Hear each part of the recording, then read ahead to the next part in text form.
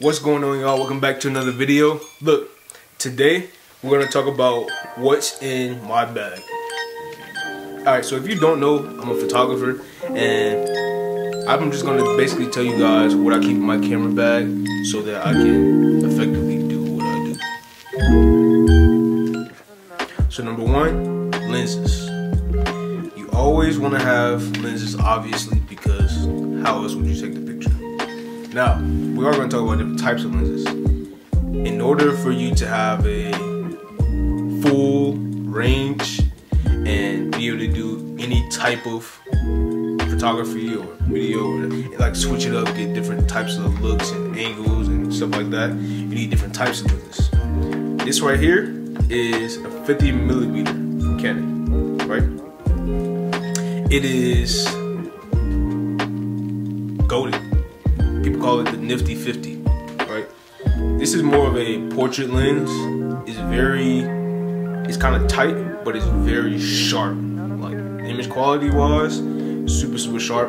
This one goes down to 1.8 um for the aperture so f-stop um so it's really good for portraits and even for video this is really nice except for the fact that it's kind of tight so it's a little bit but other than that this lens you can never go wrong with. I recommend it for everyone no matter what type of photography video you do. Get a nifty 50 50 millimeter. That's what i got. And they're not expensive it's like 150 this is a lens hood I bought to get like lens flares out of camera stuff like that. But this is the actual lens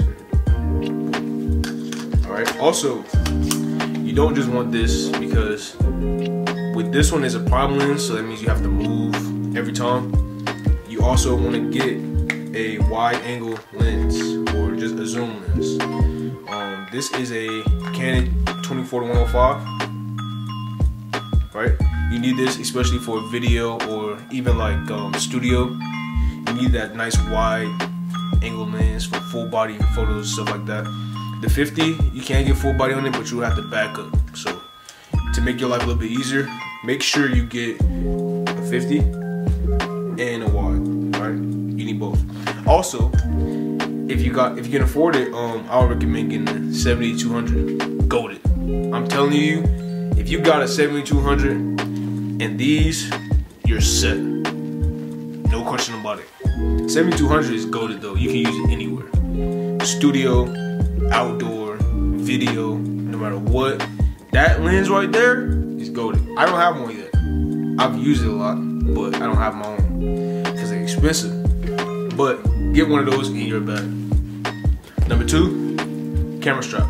The reason I like the camera strap is because it adds a little bit of character to your camera and it gives you like that confidence. It's almost like when you wear certain clothes and when you put the, these type of clothes on, you feel like you, you know what I'm saying, you doing your thing that's kind of how I feel with my camera straps. I like to have these on just because it adds that look to my camera. You know what I mean? That's just how I am. It may be weird, but I don't look at camera straps like everybody else do. I, I like to, you know what I mean, do my thing with it. But camera strap, um, especially if you're just starting out and you don't want to drop your camera, you know what I'm saying? Camera strap on. Um, these are really cheap. You can get it however you want. Also, even like for video, when you're handheld and your camera's here, you can use it as leverage. You know what I mean? Boom, you do that. Um, it has a couple different uses. Some people have their camera here and they like move the camera forward and bring it back, stuff like that. You can do really a lot of things with this. But what I'm saying is, um, me personally, I think everyone should have one of these, whether it's for fashion use or actual protection for your camera. Get you a camera strap. Next one, ChapStick. Nowadays, we're wearing masks. Well, you should be, but you know what I mean. A little ChapStick won't hurt you, and lotion. I need to take the advice for the lotion, man. I know y'all been seeing my videos, and my hands be ashy. Don't mind me, man make sure you got you some ChapStick, some lotion, whatever you can get to make yourself look more professional and more put together. get it. And different adapters.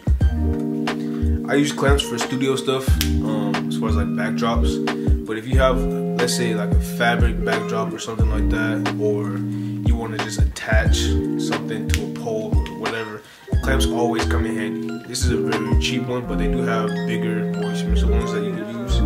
So clamps for sure you want to have in your bag at all times. Um, this is actually a phone mount for my Ronin, but you can use this for any type of little setup. You know what I mean? have your phone sit on the side or um, you can connect other devices or things to your stands to make it easier for you to do certain things. So these stuff like this, it doesn't hurt. Um, especially for social media use, you want to up the game a little bit. This is really useful as well. Triggers. This right here is a generic trigger Um, you can use it for pretty much any device. There's another piece that goes to it. Receiver. So you got a trigger and you got a receiver. Um, I bought this from Amazon. And you can connect any light, any strobe to speed light, whatever it is. You can connect it to it. This will be on your camera. This will be on the device, and they sync. It's very easy. Um, so I'll recommend getting this. Also, certain strobes have their own receiver like this, but in the event that this breaks, you have a backup with these. So I would recommend every photographer buy one of these. They take AA batteries. You know what I'm saying? These usually take a different type of battery. Like this one takes a this weird blue battery. I don't know what that is, but I don't got one of those on hand. So one day this died during the shoot and I had to figure something out. Thankfully, I had these.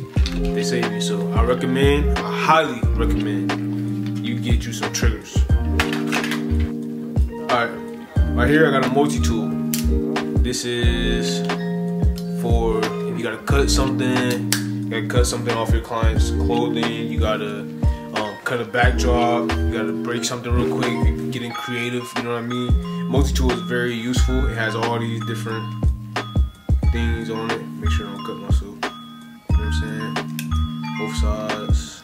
Boom. You know what I'm saying? Your nails a little too long. You know what I'm saying? Uh, what else we got? Screwdriver. You know what I'm saying? And then we got a ruler if you need that. But yeah, multi-tool is definitely useful. I recommend having it in your bag just in case something happens. Um, and it can also be used as a little weapon if you get into something. Somebody trying to rob you or something. Hey, you never know. Multi-tool, very useful. Next up, we got an SD card holder. One of these. Um, I did not have one of these before, but I got one now. Very useful. You can keep all your SD cards in here. You know what I'm saying? Keep them all in there, and it'll keep them safe in one place. You won't have to worry about where did I put the SD card did I leave it in my pocket? Did I leave it on my desk? Just keep it all in here. You never have to worry about losing any of your footage. SD card holder, standard. Next, we got AirPods. The speaker. I keep my speaker. You know what I'm saying? JBL. Speaker's dope. But have either a speaker or AirPods. You know what I'm saying? So, speaker if you're doing something where you are not to yourself you have clients around you, you gotta interact with the speaker. Not too loud, but just so you get the mood and atmosphere right. AirPods, if you're doing an event like a football game or something like that, um, where you, can have your own music saying? Also, not too loud so you can hear too and ask you questions. But these two right here, very important. This right here is an external hard drive It's very useful for storing all of your footage. Um, even the ones you send to clients, just have a backup just in case something happens and they need you to grab them again. You don't want to just leave them all on whatever um, internet software you use. It's kind of good to just have a little backup. Alright, right here we got a microphone. Pretty self-explanatory. This will enhance your audio a little bit more. Um, for videos. Let's say, even though you're doing photography, if you throw in a little B-roll clip for your client, just because this would be handy for that. So yeah. Batteries. You obviously need batteries. You can't have more than enough batteries, camera batteries.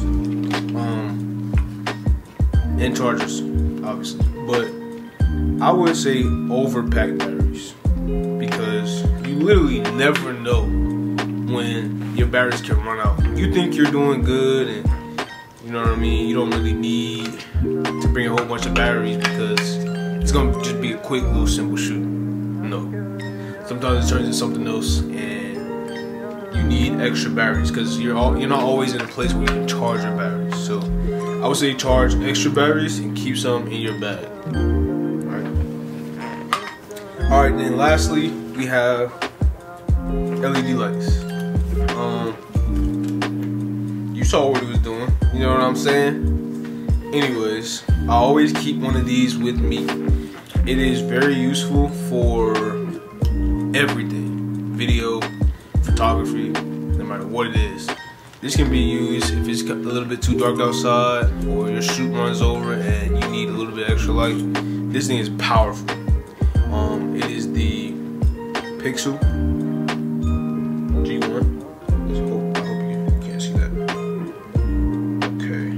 Uh, see that? Pixel G1. Very powerful light, very useful video and photography. Keep it in your bag. You're probably gonna use it at some point. Um, I highly recommend it. I got it from Amazon for like it was less than hundred dollars. And when I tell you this thing is powerful, if you stare at it too long, you might go blind. Like it's very powerful, but it's so small and compact. So definitely keep one of these in your bag. This light also has different modes, like strobe effects. So let me show you how the strobe effect looks.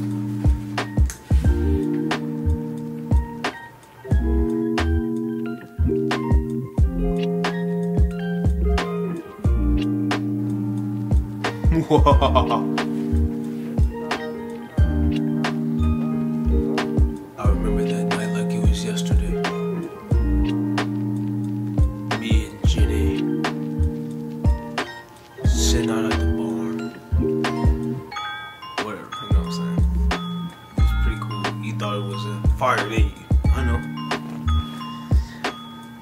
that's what's in my bag. Um, but what's in yours though? All my other photographers and videographers make another video like this. Tell me what's in yours. It might be something that I can add to mine. So yeah, y'all stay tuned for more videos. We out. Straight to the wrong way. Got some people who gonna say.